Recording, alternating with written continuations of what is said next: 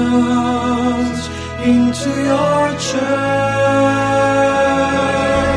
Send, O Lord, holy apostles into your church.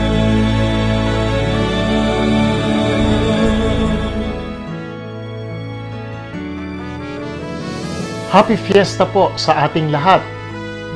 Ngayong taon ay medyo kakaiba po yung ating pagdiriwang dahil hindi po natin magawa yung mga nakagagawian na ho nating pamamaraan ng pagdiriwang ng fiesta natin. Hindi ho natin nasaksihan yung gabi ng kabataan.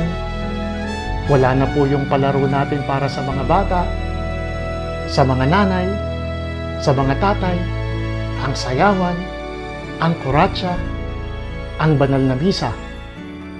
Pero gayon pa man, ito pong pagkakataon na to ay hindi ho tayo pinipigil, na pinipigilan upang uh, makapagdiwang pa ng ating uh, kapistahan ng ating mahal na patron na si Santo Hannibal.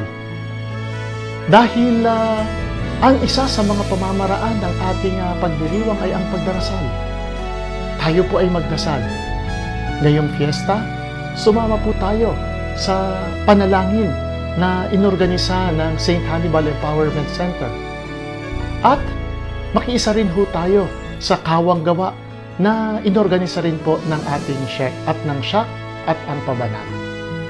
So yung pagdiriwang ho natin ng fiesta ngayon ay hindi man ho pagtitipon na upang uh, maglaro.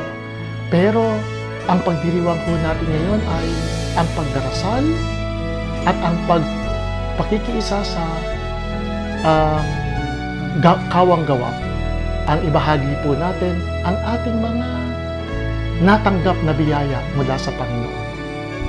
So, happy fiesta po sa ating lahat.